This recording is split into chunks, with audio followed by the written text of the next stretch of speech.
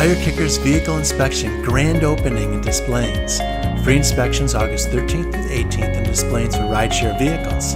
TireKickers.biz Des Plaines Grand Opening August 13th through the 18th. Tire Kickers Inspections done right.